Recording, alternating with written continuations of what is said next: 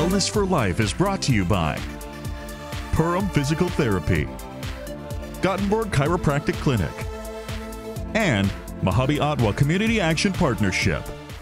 Hi, I'm David Gottenborg, a chiropractor here in Pelican Rapids. I'm going to handle two subjects today. The first one is I want to revisit an old topic, and that is the difference between blood and hair mineral analysis. The second subject is arthritis and how it affects the joints, specifically range of motion. So to begin with, hair um, offers a lot of information as to what is happening within the cell.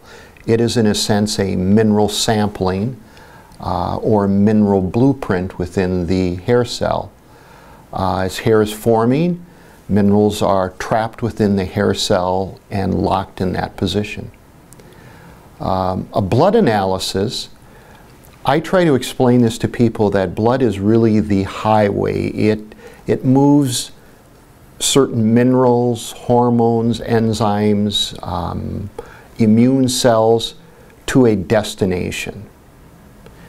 And while it's moving the minerals, uh, the body has the great ability to maintain level or maintain normal levels.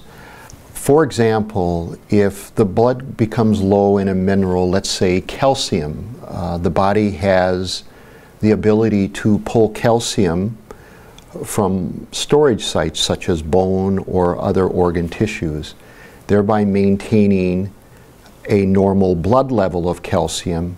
But this person still might be developing osteoporosis, and I think that's why sometimes speaking to people listening today, why you may have been told that you have osteoporosis or osteopenia and yet you look at your blood work and you have a normal calcium reading. Um, we're going to take a look at an example today, but um, also I just want to mention that when we interpret a hair mineral analysis, we can look at things like the glandular activity, the thyroid and adrenal. Uh, we can tell a little bit about the person's diet and um, are they in, are they sensitive or overeating carbohydrates? Um, we can tell a little bit about the stress going on in a person's life, and of course, uh, finally, um, um, their metabolic or mm, a better word would probably be their energy level. This is what a analysis looks like. Um, the chart represents 22 different minerals, including minerals that we would consider toxic, like mercurium, cadmium, aluminum. It gives us a lot of insight into one's health and maybe a direction to go when we consider how we want to help a person feel better or how we want to address supplementation, in other words, taking vitamins. Uh, I've highlighted an area in yellow today just as an example and it picks up both phosphorus and zinc. And when we see low levels like this, I may have a discussion that goes something like this with the patient. Are you eating enough protein since phosphorus represents protein? If you are, is it a good source of protein? Or thirdly, are you digesting your food? In other words, are you taking something um, that affects digestion, like an antacid?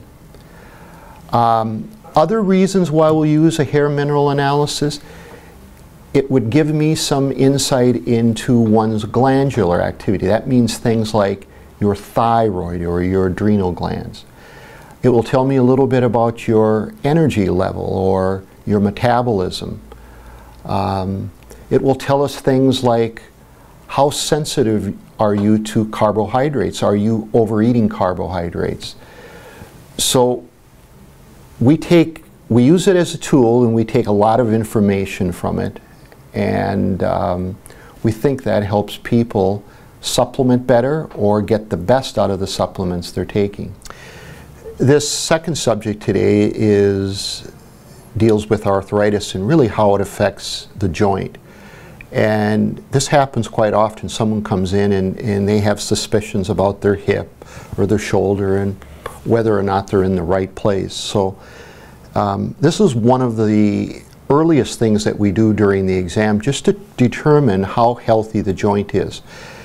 So let's say we have arthritis that has advanced to the degree that it's, it's going to affect the joint. Um, in the shoulder, one of the first movements you'll lose is lateral flexion, or, or the ability to bend back. In the elbow, it's flexion.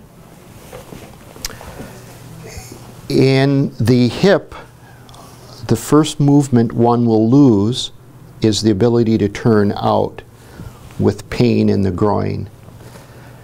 The knee, the first movement we'll lose is bending, where someone may come in and they may be limited right here instead of full motion. So in closing, if you have concerns whether or not you think you're in the right place, um, this is where we start to determine how healthy the joint is and whether or not you'll respond to chiropractic care. Thank you.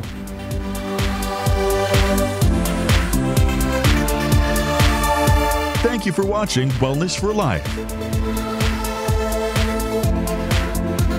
Brought to you by Purim Physical Therapy, Gottenborg Chiropractic Clinic, and Mahube-Otwa Community Action Partnership.